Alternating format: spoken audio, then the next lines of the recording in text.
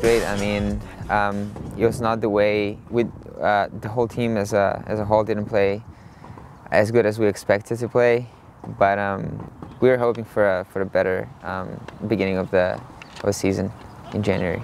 Now that Clark's gone, um, I, I feel like I, uh, I had to take off, uh, on that role, and it's, it's not it's not easy when when the guys look up to you and expect uh, expect uh, more from you now than they uh, did before.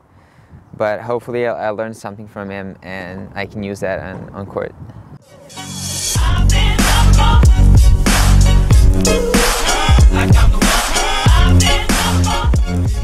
Yeah, I was really happy for Uros to come out and start off his fall season strong. You know, he, he has goals of making the NCAA tournament in singles, and um, you know he got to play a player who got to the semifinals last year, and Dennis Wynn of the NCAA tournament, and he beat him pretty handily, and you know so that kind of got him off and rolling to a good start, and um, you know hopefully that's some signs to come for the rest of the year.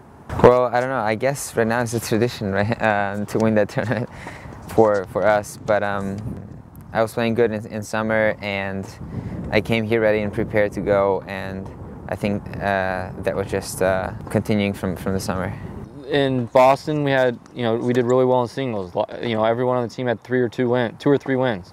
And then, you know, we went to All Americans and we didn't quite do so well in singles. And then, but then, you know, Filip and Jordan started to play better as a doubles team and had some great opportunities there to even go further. And, you know, and then we kind of balanced it out when we went up to regionals a couple weeks ago, and um, you know, Uros had a good result getting to the semifinals, and you know, was one set away from getting into the finals there, and then we had a couple teams get to the quarterfinals of the doubles, and unfortunately, you know, Jordan has was hurt because I really they they were the one seed, Jordan and Filip. I thought they could go out and win it and get to play at, at indoors, um, you know, but eh, right now, again, everything is about a building process, and these guys are are getting better and they're starting to, you know, like you said, the maturity part is, is, is coming along as well as the tennis part.